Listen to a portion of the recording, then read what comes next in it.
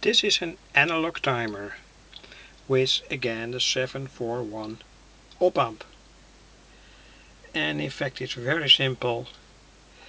We set a certain reference voltage to pin 3 and on pin 2 we connect a resistor and here a capacitor and we charge that capacitor by means of this switch this can be a button switch. And when we release the button switch the capacitor holds charge and it's going to uh, send its charge into the op and that means that the LED lights up. Or of course another circuit. For instance with a Darlington at the output you can uh, switch a relay or so this is the setting from P1, that's here. I found out that it has to be in this position, this position, to make it work properly.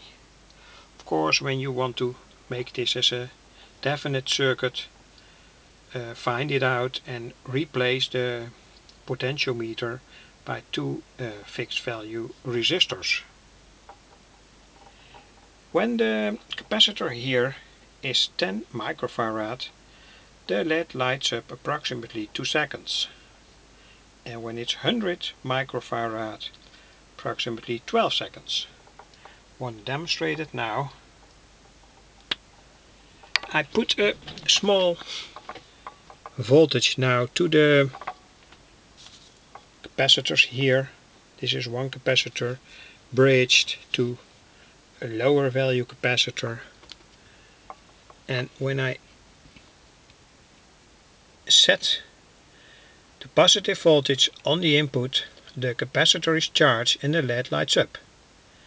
And now I remove the wire and the LED keeps on burning but of course for a certain time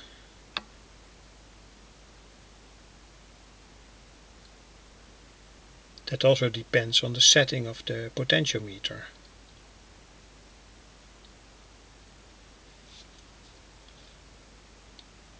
I hope it will switch off now. I've tested it with a uh, 10 microfarad capacitor. Yes, now it switches off. And this was approximately 110 microfarad.